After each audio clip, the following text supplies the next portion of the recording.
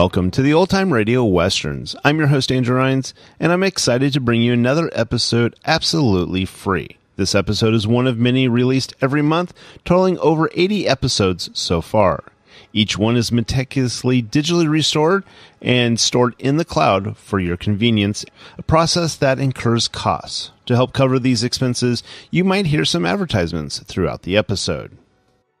While we do retain the original commercials for historical authenticity, you may also encounter modern ads, which help keep the lights on. If you prefer an ad free experience, we offer a couple options. You can listen to the episodes on YouTube, where they don't include the audio ads, although YouTube may provide their own ads on their platform. Alternatively, you can also support us by becoming a patron on our Patreon page. For more information, go to otrwesterns.com slash donate. Again, otrwesterns.com slash donate. I do want to emphasize that we are committed to providing this content to you for free, but also we have to be transparent about the financial realities to bringing this to you. To those of you who are already supporting us, we extend our heartfelt thanks. Your contributions make it possible for us to continue doing what we love. And as a final note, I did want to mention one last thing. If you are paying for a service, let's say like Audible, and you're listening to this show on that site, they do not provide any financial or monetary means to this podcast. We provide it to them as a way for you to be able to listen, but they don't help us in any way. So again, thank you to everybody who's already supporting and those of you who want to support us in the future. I deeply appreciate it. Now, let's get into this episode. This episode is going to be Gunsmoke. Original air date is December 8th, 1957, and the title is Long as I Live. Let's get into it.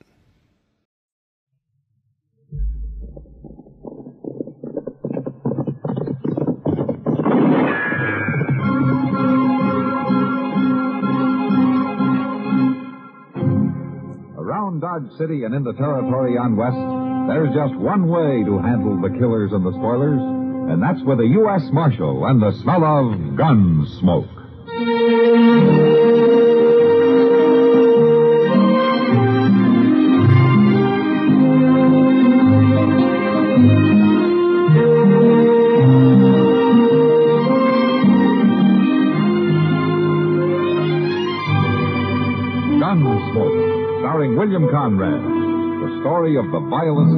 West with young America. And the story of a man who moved with it. I'm that man. Matt Dillon, the United States Marshal. The first man they look for and the last they want to meet. It's a chancy job, and it makes a man watchful. And a little lonely.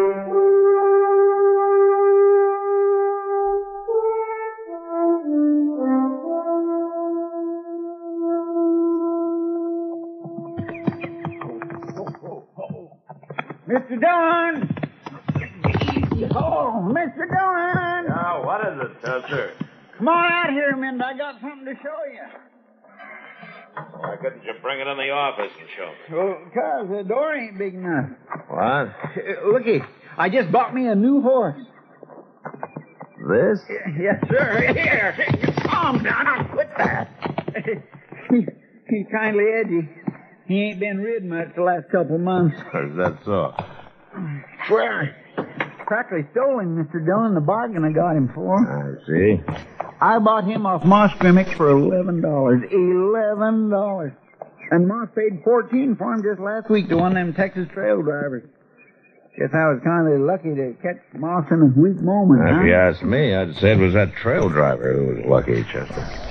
Oh, what are you talking about? This is a good horse. Yeah, he might be if it wasn't bowed in both front legs, didn't have bad hocks, and wasn't wall-eyed, Roman nose, and probably wind broke. Win, bro. I'd say that horse is worth about five dollars, Chester. On a gamble, of course. Five dollars, Mr. Dillon. If that horse ain't worth twenty, I'll eat him raw. And and I'll tell you something else. If you Hey, wait, wait a minute, out- wait a minute, Chester. What's the matter? Why, declare that looks like the stagecoach from Cimarron. Why ain't he stopping at the depot? He's coming here, I guess. Must have had some trouble. Trouble? They don't carry no bullion or nothing that's worth anything. Oh! Marshal. Yeah? Marshal, Yeah, what's wrong, Judge? we got shot up, Marshal. A couple or three miles out of town. One of the one of the passengers inside there's hurt. Oh, I'll take a look. Feller rode up alongside, mask over his face, fired point blank. Good Lord. What's the matter? Give me a hand here, Chester. It's Doc. He's shot bad.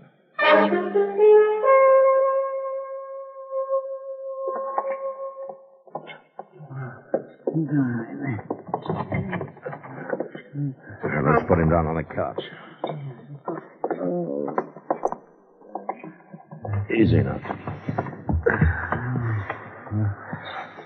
Oh, Matt? That's you? He's coming too. Matt? Now, don't try to talk, Doc. You, you're going to be all right. Uh, Chester, you see if you can find Kitty, will you? All right, sir. I'll get her over here right away. Uh, sorry, Doc. I'll go as easy as I can, but I got to get this shirt and vest off of you. I want to see what that bullet did. Oh, it doesn't hurt much, Matt. Just I'm weak. There's loss of blood. You got any idea who did it? No mask over his face. Help. There we are. Uh, Is it as bad as I think, Matt? uh, no, no, it, it's not too bad. Doc. Bullet went in between the fourth and fifth ribs. The way I figure. Yeah, I, I guess that's about it. Say, that, that Sawbones from the east, is he still staying over at the Dodge house? Uh, uh, he, he left the same day you did, Doc. He took the train. Uh, you're the only doctor within a hundred miles of here. Oh, that bullet's got to come out, man. It ought to, I guess. It's got to. Right away, a blood poison will set in. Yeah, I know. Oh, It's such a good week, too, man. A good vacation. I had a country down there just crawling. Game, prairie chicken, quail, pheasant. Oh, a real fine vacation. It's first one in two years. Well, you, tell me about it later, Doc. You, you save your strength now. Might not, might not be any later. Unless you hurry up and get that bullet out of there. What? There's nobody else I'd trust, Matt, and it's got to be done. But, Doc, I, I can't. You got him, Matt. Unless you're hankering to bury me. But, Doc, I. I just can't. All right, Doc, but you got to tell me what to do.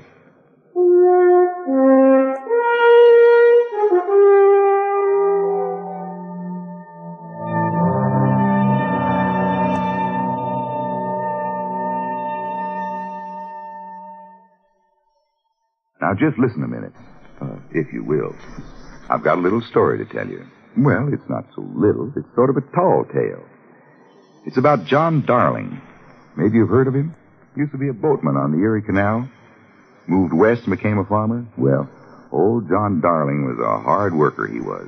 Became a real champion farmer. They tell about one time when John was reshingling his barn. A heavy fog rolled in, but that didn't slow him up at all. No, sir. He kept hard at his shingling till noon. Well, while he was having lunch, the sun came out. And John discovered he'd laid the shingle roof 40 feet above the rest of the barn. Winters used to get pretty cold up that way, but this one particular winter was the granddaddy of them all. It got so cold that the air froze thick, and you had to push real hard to get through it. Well, this heavy air wouldn't let the smoke out of John's fireplace chimney. He found a solution, though. He whittled himself a paddle, fixed an oarlock to the fireplace, and he pushed the smoke up the chimney. He sat there by the hour, rocking in his chair, paddling the smoke and singing. Everything worked real fine till one bad night when the smoke froze into a 96 foot column straight up from the chimney.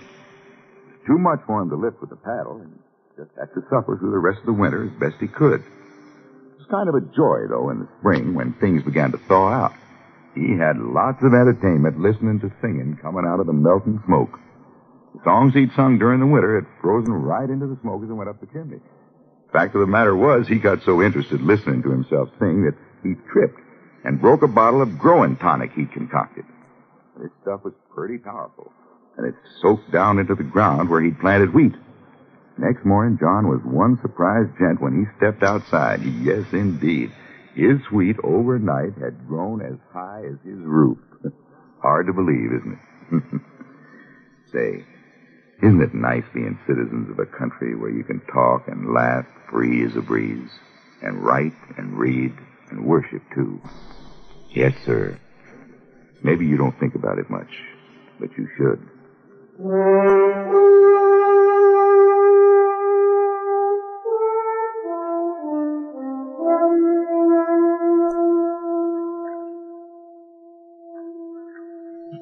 Matt, Yeah, Doc.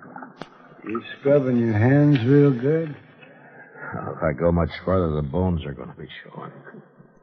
You use plenty of that yellow soap? Yeah. mhm. I got her, Mr. Dillon. Oh, thanks, Chester. How about Kitty? Matt. Doc, I'm sorry. How do you feel? Oh, terrible, terrible. I, I don't suppose you thought to bring a bottle. Well, knowing you, that's the first thing I thought of. Kitty, you're an angel. How much? Well, a half a glass for a start. Uh, Doc, don't you think maybe you ought to take it kind of easy? Uh, That stuff might not go too good with chloroform. Chloroform. The bullet's got to be cut out before it starts blood poisoning, Kitty. But Matt, you don't know anything about operating. I'm not any happier about this than you are, but it's got to be done. Kitty, will you please hand me that whiskey? Oh, yeah, I'm sorry. Here you are. Thank you.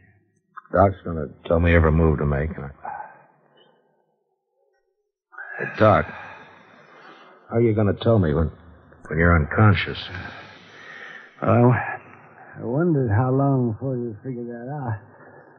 Say, Kitty, f- fill that up again. No, wait a minute, Doc. I'm, Now, I'm don't you worry about mixing whiskey and chloroform.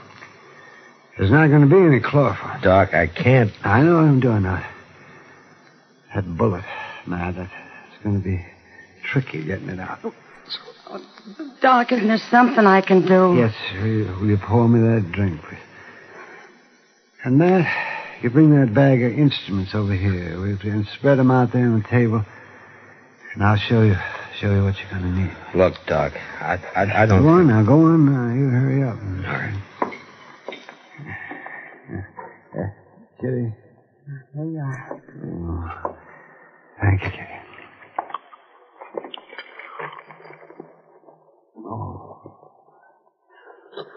Well, what are we going to need here, Doc?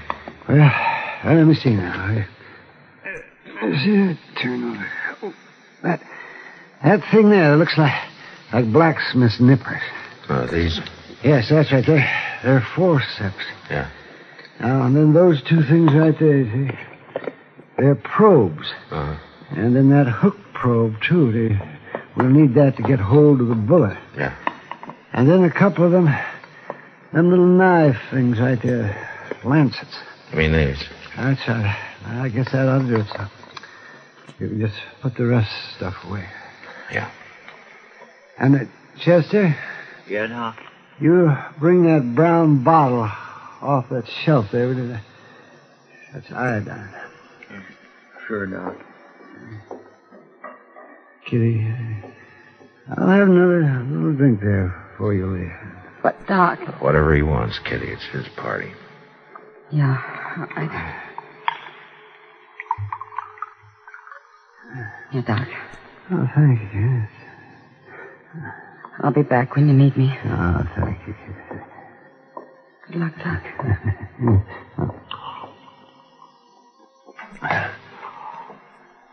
Oh, one more good stiff drink like that, and I'll, sing all the way through this thing.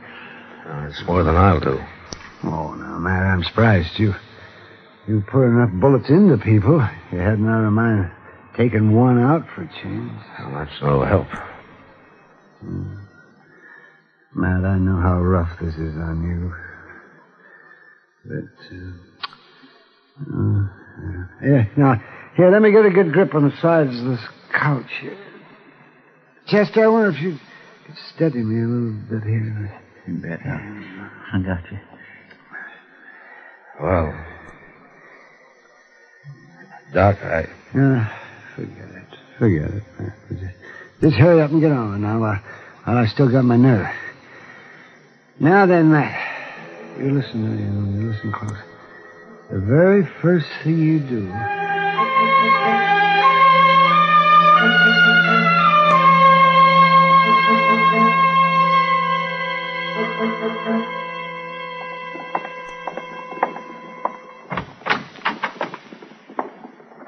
Oh, how, how are you, Chester? Oh, Mr. Dillon. How's Doc? Just about the same, I'm afraid. He's breathing pretty weak. Yeah. He ain't come to yet. Miss Kitty's sitting with him for a while. I'm getting worried, Mr. Dillon. It's been pretty near 24 hours now. Yeah, I know. It just don't make sense. Doc never had an enemy in his whole life. I know that. It couldn't have been somebody trying to rob the stage or they'd have shot the driver. Oh, it wasn't a holdup, Chester. Say, look, maybe they mistook Doc for somebody else. No, I thought of that too, but it just doesn't make sense. The only other passenger was a salesman from the east, and he doesn't look anything like Doc, and he doesn't know a soul in this part of the country. No, it was Doc that the gunman was after. But why? There ain't a person in this town that ain't beholden to Doc. It seems like there's one who isn't. First vacation Doc's took in two years and has to end up like this. Why, if Doc was to die, this town would be in a real Oh, trouble. forget it, Chester. No use jumping at things. Long as I live, I won't never forget Doc laying there, gritting his teeth, turning white, and still trying to grin while you dug that bullet out of him. Whoever done that must have been crazy. I thought of that too. Or maybe a stranger in town who didn't know Doc, but that still doesn't help. Yeah, come in. Anything I can do for you? You sure can, Marshal. You can get your hands up. You two. Well, I- I'll take that gun of yours, Marshal. There. That's better. What's on your mind, mister? You've been talking all over town, telling what you was going to do with that fellow that shot that doctor. Well, Marshal, you're looking at him.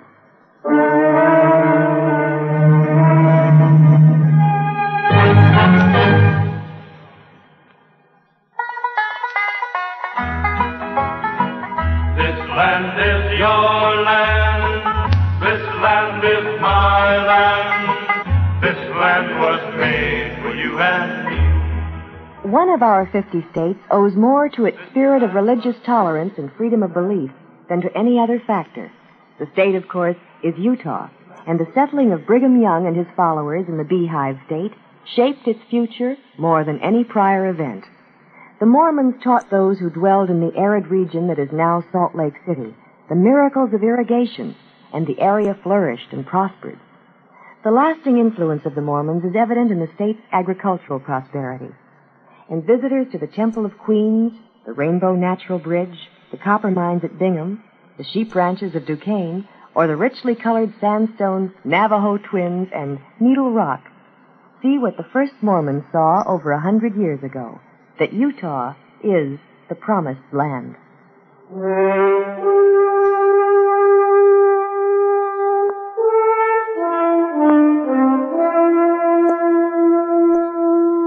All right, you got my gun, mister. You mind if I put my hands down now? Just don't neither one of you try nothing, that's all. What's your name?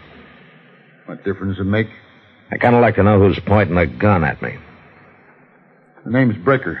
Pod Bricker. You're new in Dodge, aren't you? You've been here a couple of months. We? You asked too many questions, Marshal. I'm going to ask one more. Why did you shoot Doc? Because he had it coming, that's why. And if he... Oh, you hold it there. Take it easy, Chester. Well, I, I was just shifting my feet around. You two know what's good for you. You won't know more than breathe. What did Doc do to you, Bricker? Plenty. Something bad enough that you wanted to kill him? Ten times over. Doc never hurt nobody in his whole life. You shut up. That's what the marshal's been saying all over town. That that doctor never done nobody any harm. That whoever shot him was a dirty skunk and hanging was too good for him. And you don't agree with that, huh? I said he had it coming, didn't I? And I had plenty of reason. Is that why you came here to tell me about your reason? Well, I just wanted you to know, that's all. But you try to make a move, and I'll shoot you, Marshal.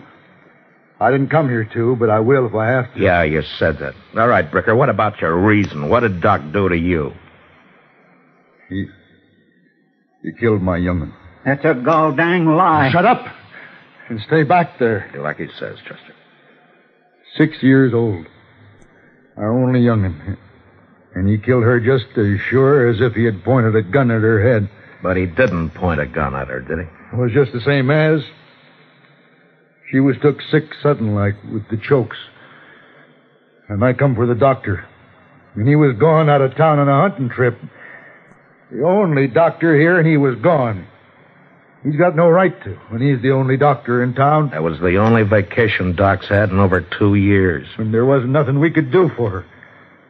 I sat with her for two days and two nights, watching her fight for her breath, all the time getting weaker. And finally, she died. And day before yesterday, I buried her. So you got a gun and went after Doc, huh? I heard he was coming back to town yesterday, so I rode out and met the stage and shot him. And he had it coming. You figure killing Doc would bring your daughter back? Well, if he had been here like he ought to, she'd still be alive. Maybe, and maybe he couldn't have saved her anyway. He ought to have been. Now, you shut up and listen to me. I've seen Doc work 72 hours straight without sleep during epidemics.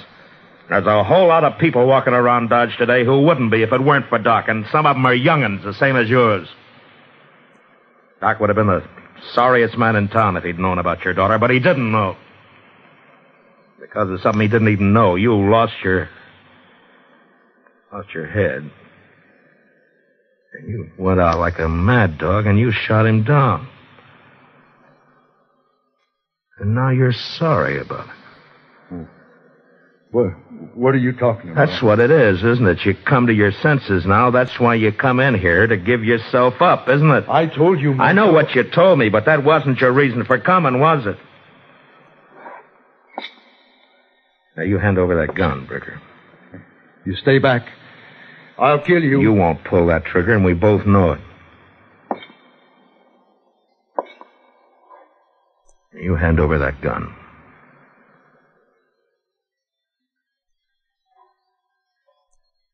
Thanks. That doctor. Is, is he is he dead? He's the next thing to it. I hope he don't die. You better hope. All right, Chester, lock him up. Come on, mister.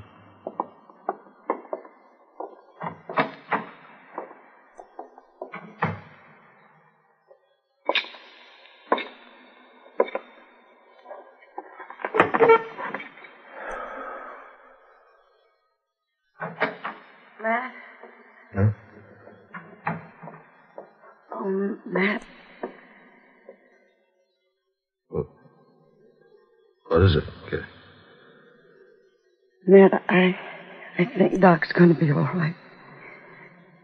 He's, he's awake, and he's mean, growling. That's a good sign. He says if he's not out of bed in three days, you'll probably take over his practice. now that you've had a try at it. You know something, Kitty. Uh, no. What, Matt? I think I'm going to send that miserable old goat to Bill.